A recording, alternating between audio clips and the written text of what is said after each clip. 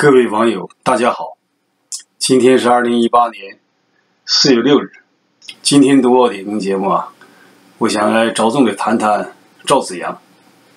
那么赵子阳过世啊，已经十三年了啊，在如此之长的时间里啊，骨灰还没有得到安葬啊。那么今年啊，据呢这个赵子阳的家人谈论啊，说是有关方面啊。经过他们的这个啊要求，终于啊，这个同意啊，基本上同意，就是他的骨灰可以呢在民间的啊普通的墓地安葬。如此一个小小的要求啊，如此之低的要求，还要经过中共中央的办公厅啊才能做决定，这真是令人难以就是接受啊。其实赵子阳是我们。普通老百姓啊，心目当中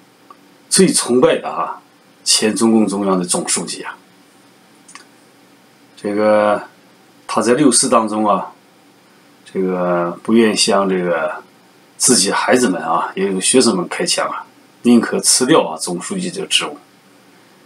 这一点呢，在历史上留下了非常非常的啊，令人令人印象深刻的这样的一个烙印呢。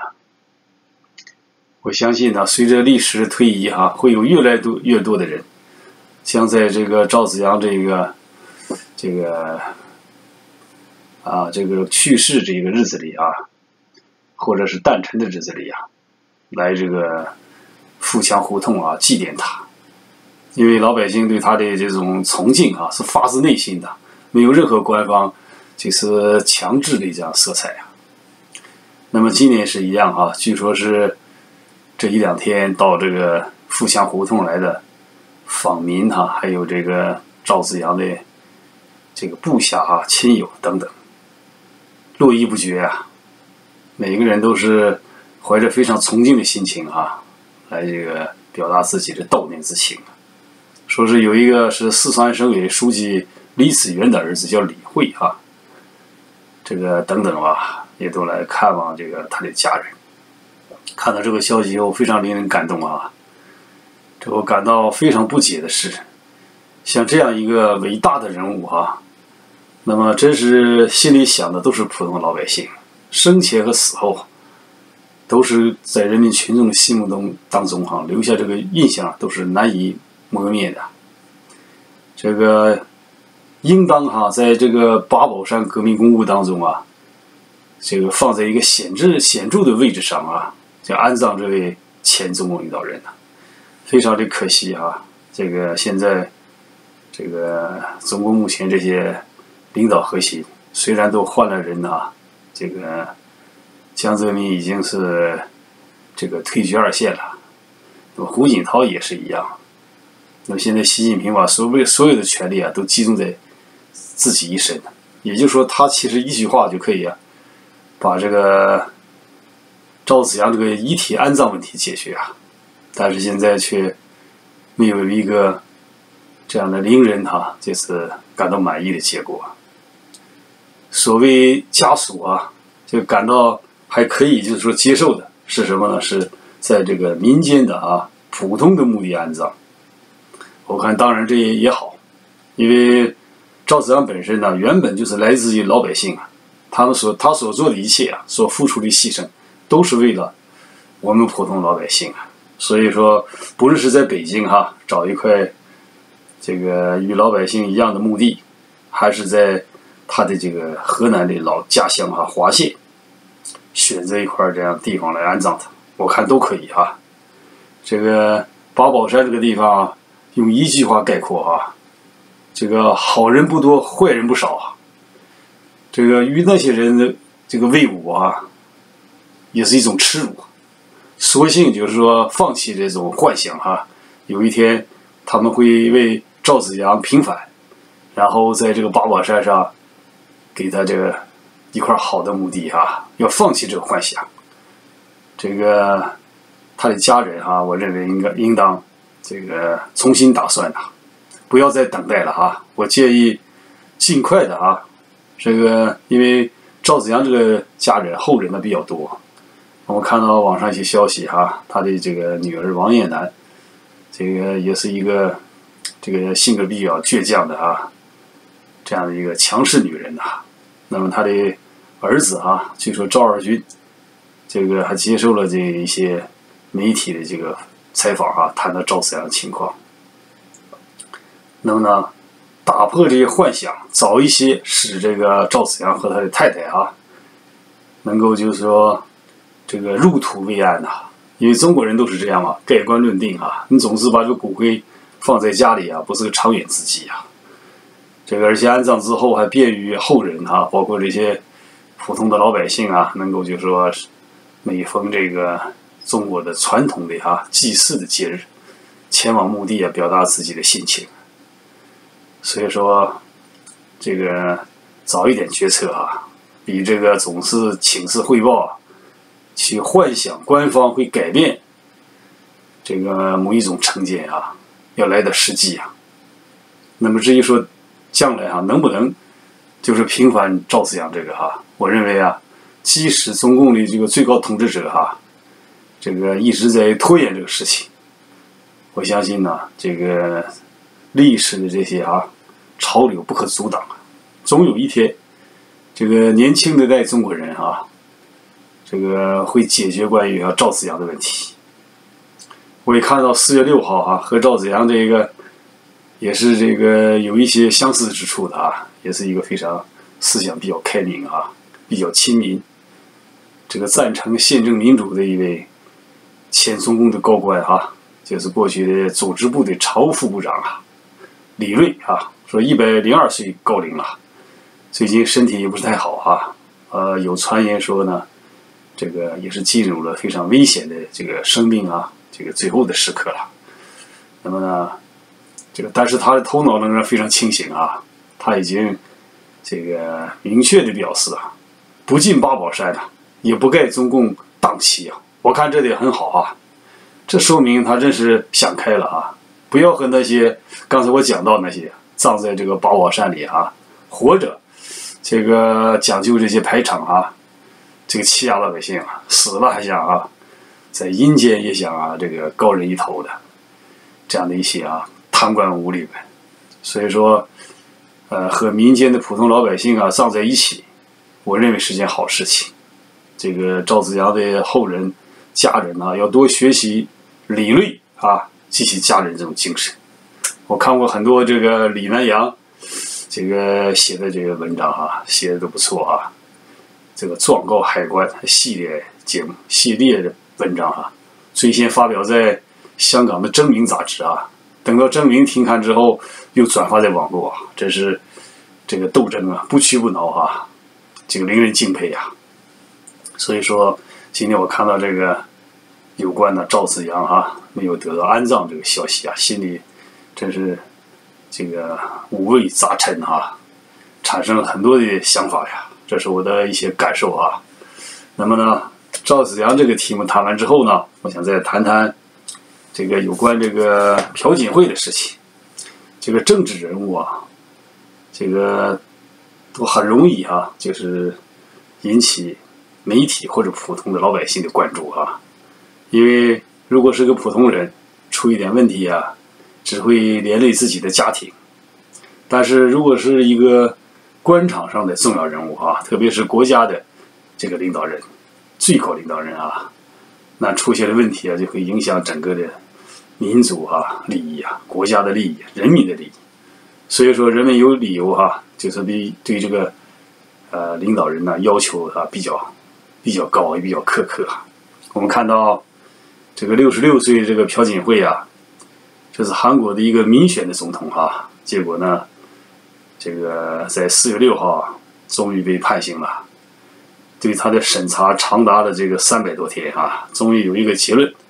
判了有期徒刑二十四年呐。六十六岁加二十四二十四年呐，那就是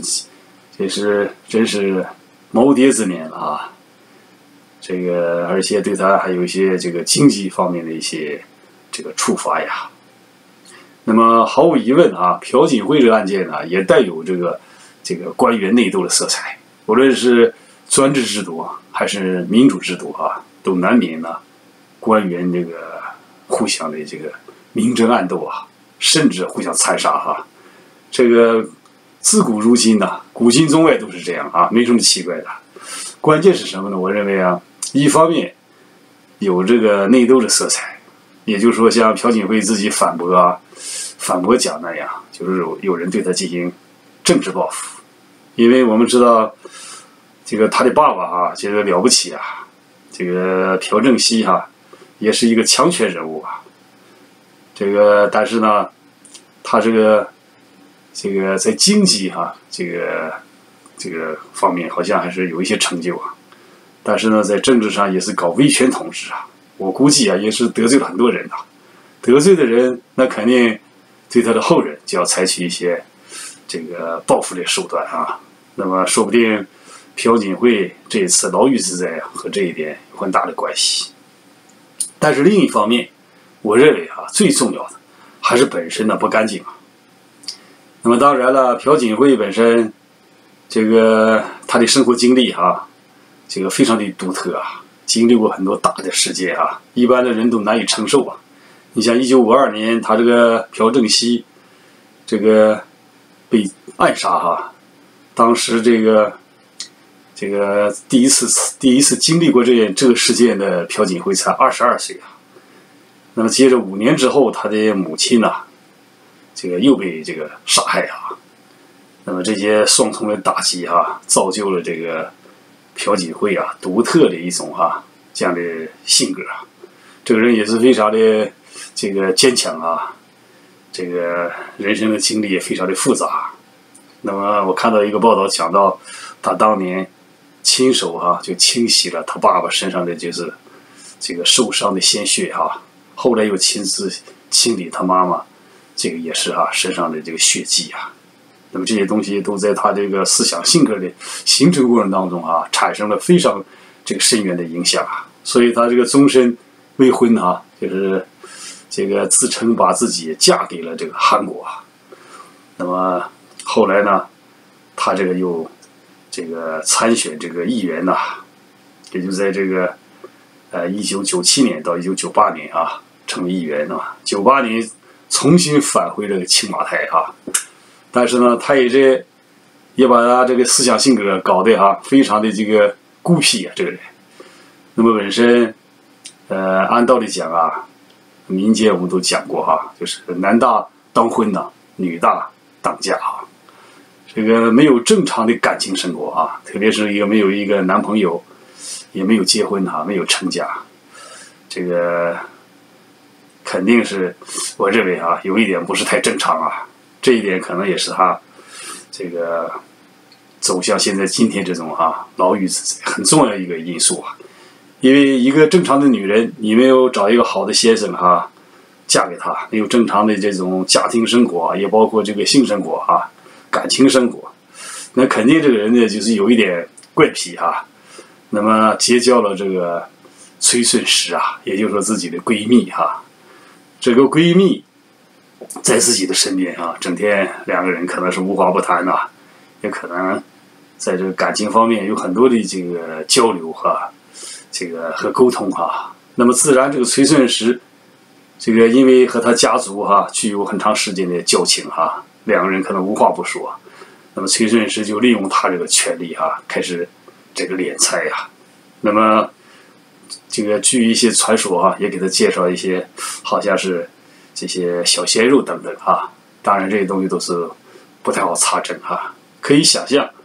这个虽然他是自称把自己嫁给了韩国，但是毕竟她是一个有五这个七情六欲的哈，普普通通的这样的一个女性啊，她渴望权力，也更渴望爱呀。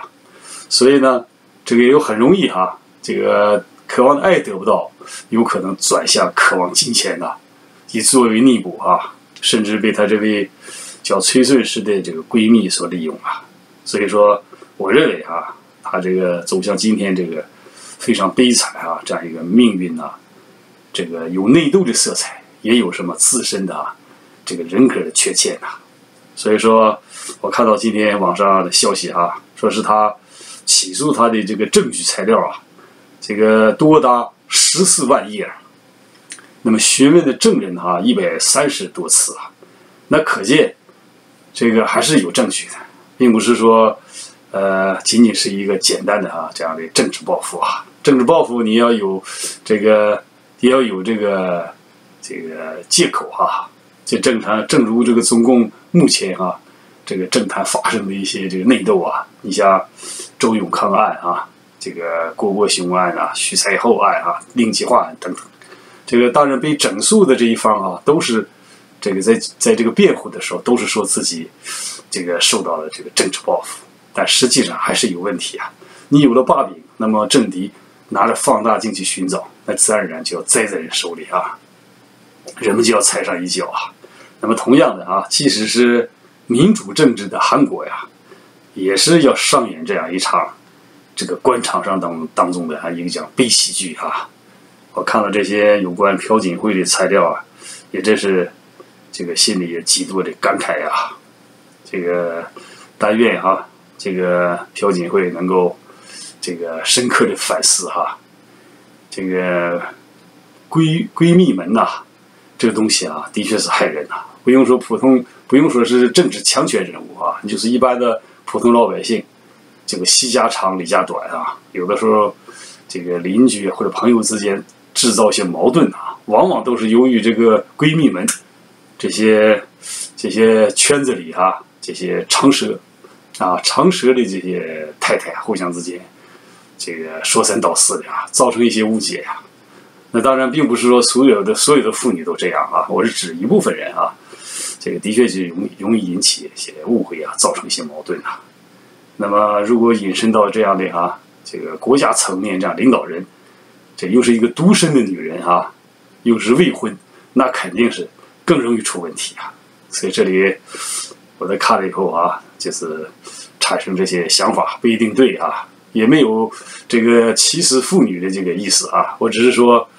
这个朴槿惠她这个经济方面这种犯罪哈行为啊，有这个自身的哈主观上的因素啊，其中和这个个人的感情还有很大的关系啊。那么这是一个。小题目哈，那么还有一些时间，那么再谈谈关呢这个国内哈这个网站发表一些报道，说湖南哈这个益阳，那么有一起涉及到哈这个公安干警的案件哈，这个是由四月四日啊澎湃新闻网站公开发表了啊。我首先我要表示就是说，这个作为中共的官媒哈，能够就是说。公开的报道啊，一起涉及到这些警察违法犯罪的事情啊，而且这些警察真真的被判刑了哈。那么这一点应该肯定，就较之于过去我们遇到过的啊雷洋案啊，还有这个徐春河案啊等等，这个还是一个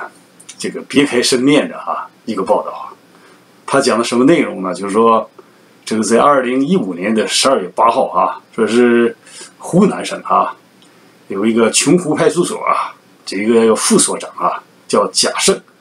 带领着下边几个干警啊，还有这个副警，这个一起呢就抓了一个犯罪嫌疑人呐。那么对他进行这个这个盗窃罪的指控啊，结果呢采取了刑讯逼供的办法，把这个人呢用双手啊戴上手铐，然后往这个鼻子里灌水啊，最后把这个。犯罪人呛死，那么这个案件还不错啊。这个当地的湖北的这个这个纪委的有关部门啊，没有掩饰，而是把他下令双规啊。这个被双规的有两个警察啊，两个辅警。所谓辅警，就是国内很流行哈，就是在警力不足的情况下，那么招聘一些临时这样的辅助警察工作的警察。行使的这个职权哈和职能和警察一样啊，我认为这本身就是一个违法的行为啊，这个一种违法的人事安排。不知道为什么哈，这个大行其道哈，我看全国各地很多案件，这个出了问题之后啊，都会推出一两个辅警来来顶包哈，这个大概也是用它来作为一个挡箭牌吧。按道理讲哈，是应该就警察就是执法，没有辅警。那么这个抓着这四个人。现在看来呢，都被判刑哈，有的判了十年啊，主犯判了十年呐，叫贾胜。这个有五年，有三年，两年啊，这个等等吧，我就不详细讲。我讲的问题是什么呢？第一个是这个当地这个湖南的啊，益阳的纪检部门，总体来讲还不错，就是给他们算规了啊，抓起来，咱们移交这个公安呐、检察院、法院来处理啊，这饺子过去是个进步。第二个呢，湖北省同济法医鉴定中心，呃，也不错，敢于坚持坚持原则啊。我看他那个提供这个关于这个犯罪嫌疑人死亡这个原因，他做了个鉴定。虽然这个鉴定也有很多瑕疵哈，有很多疑问，但总体上来讲，还是这个就是认定啊，就是这个死亡和这个鼻子呛水有关。这个总比那些造假的啊、撒谎的哈，这个起反作用哈，这做伪证那些所谓的这个法医鉴定中心要好得多啊。那么这是一个。此外呢，还有当地的这个公安局、检察院、法院啊，能够对这个琼湖派出所的副所长啊，这个也就是利用公权力哈来杀人的啊，这位叫贾胜等这些人进行这个依法制裁啊。这个我认为啊，这一点饺子过去的确是还不错啊，应当肯定。但是呢，这里有很多的疑问啊，这是我最为这个感到啊，就是不能理解的。一个是什么呢？这个对这些犯罪嫌疑人啊，这个判刑呢，首先判刑，这个量刑这个罪名啊，是这个我认为不正确。他这给他给他量刑是伤害罪啊。我我认为是故意杀人罪啊，因为什么呢？因为这些警察呀，应该讲是懂得国家法律的，那否则不能当警察，是不是啊？那懂警懂这个法律，手里又有这个公权力啊，是代表着国家，不是代表个人啊，来这个对犯罪嫌疑人进行这个刑讯逼供啊，而且这个违背根本的这个常识啊，那鼻腔是是呼吸的地方，你往里灌水，那肯定要呛死啊。也就是说，他在做这个事情之前就应当知道，这个犯罪嫌疑人有可能就是致死啊，这个情节非常严重啊，这个应当是故意杀人啊。也就是说呢，按照这个条款，这个对应的判刑啊，这个主犯是应该判处死刑的，至少得判死缓啊。那么这是一个问题，就是这个罪名哈，这个有问题。第二个呢？他讲到什么呢？说讲到这些警察呀，在事情发生之后呢，能够主动的坦白这案件的全部的经过哈，把它看成是有自首这个行为，这个显然不合情理啊！是怎么算自首呢？把人这个用水呛死了啊，那肯定这是算不上没有算不上这个自首情节啊！而且最荒唐是什么呢？这个法院在判决的时候还有个说辞啊，说是为什么对他们从宽处理啊？是因为这个死亡者家属啊提供了一个材料，叫刑事谅解书，也就是说家属提出来啊要谅解这些警察，这个显然是荒唐啊！哪一个人被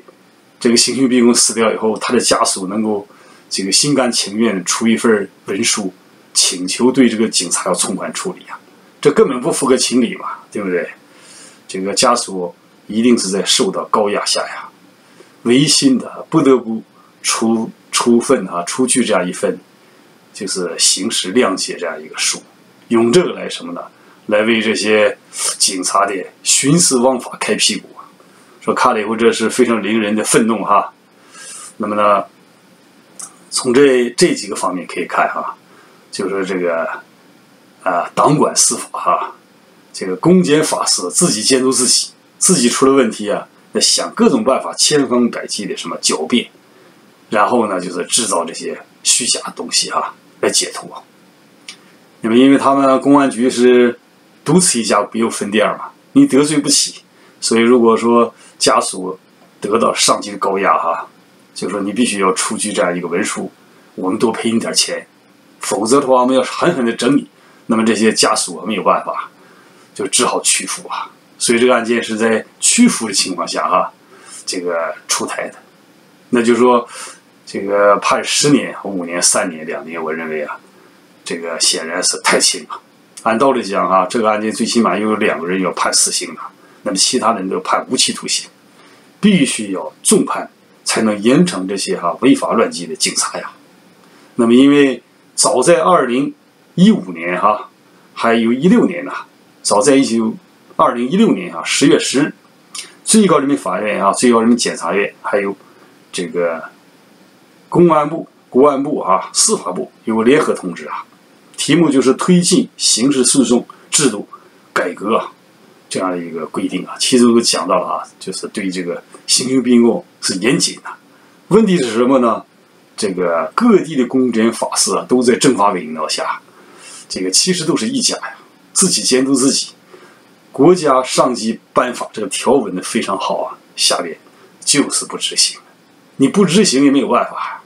你像这样的警察，这个对犯罪嫌疑人双手啊紧靠啊，靠在背后背面。往鼻子灌水，那肯定就要死人。这就说明什么？这种刑讯逼供的行为啊，这个一个是这个不是个别现象，比较普遍，就经常可以运用，所以才这样肆无忌惮。所以说，一旦是造成死亡的时候啊，应当是杀一儆百啊，这个使其他的这些警察在办案的时候感到啊，就恐惧啊，感到敬畏法律，这才行。像这样的就是下点毛毛雨啊，象征性的判一个十年，然后其他的人就三年五年，最后入狱之后再来减刑啊、假释啊、保外就医，名堂多着呢，很快就出来了。那么其他警察一看没事，还会下一次继续啊，用这种刑讯逼供的办法啊来办案。所以我看到这以后啊，这些消息以后，我感到啊，这个非常的生气啊。当然呢，这个案件。较之于就是以前些案件啊，我再一次强调一遍，还是一种进步啊。如果他不处理的话，你也没有办法。中国现在目前就这样状况状况。那么这是关于啊这个湖南益阳发生的啊。此外呢，这个还有点时间哈，再谈一个谈谈这个有关甘肃发生的一起啊，这个也算一个社会新闻啊。这个也是很有很有意思的新闻啊。说是呢，这个甘肃啊曾经。有一条公路哈，耗资十六亿，叫扶贫路，结果最后呢被发生是发现也是豆腐渣工程啊。这个党媒哈《人民日报》啊发表了一篇文章啊，就是猛烈的就批评了这件事情。那么当然这是件好事情哈，不过感到奇怪的时候啊，就是这个消息披露之后，甘肃省的党报《兰州晨报》却发表了一篇文章进行反击呀。那么我仔细看了哈这个报道。这个关于这个这个这条路的啊，这个建设的前因后果啊，来龙去脉啊，我就不去重复了。网友们可以从网上可以找到哈。我只是说什么呢？这个这篇文章的大概的观点是什么呢？就是觉得这个纪念人纪念既然哈《人民日报》这个作为一个官媒哈，这个特别是在海外版的微信公众号“侠客岛”，就这篇文章当中啊，已经是。这个对这个甘肃这个这个豆腐渣工程进行了激烈的批评哈，那么当地这些这个媒体啊，在一般情况下哈都不会不敢表达不同的声音，但这一次非常奇怪呢，这个兰州晚报啊却做了这样反批评啊，而且言辞比较激烈哈，这个本人认为哈，这可能和这个。这个党内高层的啊人事布局也有很大的这个关系啊，因为这个我们已经我们都知道啊，现在甘肃这个主政的主要领导啊，过去在这个王岐山的手下工作过啊，算是党内的实力派啊。此外呢，这个我看了一些，我比较这两篇文章啊，就官媒这个报道和这个甘肃地方报纸的文章啊，我觉得这个呃人民日报的这种。批评啊，的确有一点这个有些问题。就是如果说他单纯的是批评这个这个豆腐渣工程啊，也就罢了。他还这个有这件事情啊，这个还指向了啊，这个整个的甘肃的官场啊，对这个甘甘肃的官场进行了啊这个范围比较大的一种这个批评。那当然就会造成现任的一些领导人的这个这个不满呐。这个我估计和这个情况有很大的关系哈，但不管怎么样，我觉得呢，这个百家争鸣哈，百花齐放才是正常的这个舆论生态啊。如果说人民日报发表了文章之后啊，对某一件事情做了一个批评和定义，这个对方哈涉及到这案件的地方，这个舆论呢，如果是一面倒哈，或者保持沉默，反倒是不正常的。应该是允许有不同的声音啊存在，这才是健康的。这个这一方这样讲，那一方那一那样讲啊，那么各种的说法都摆到台面上，那么普通的老百姓啊，叫读者啊、观众，他们自有辨别力啊。所以说，这种啊，目前这种舆论这种气象，我认为呢，这个是一个比较健康的这样一种状况啊。但愿啊。中国的国内能所有的哈这些媒体啊，就都能恢复这样一种常态啊。当一某一种事件发生之后啊，这个左中右哈各种看法都有啊，每一种看法都会受到这个这个保护啊，都允许人们来鉴别啊，这个来采信啊，这个来接受来批评等等，这叫这就对这个社会生活的发展啊，能起到非常积极的有利的。这样引导作用啊。那么这是今天的多少点评节目啊，刚好又到了三十分钟哈。我谈到了这个赵子阳的这个骨灰安葬的事情啊，又谈到了朴槿惠，还谈到了湖南哈这个益阳的一起这个案件，最后谈到了甘肃啊。那么非常的这个有一点凌乱啊，都是我每天读报啊这个产生的想法。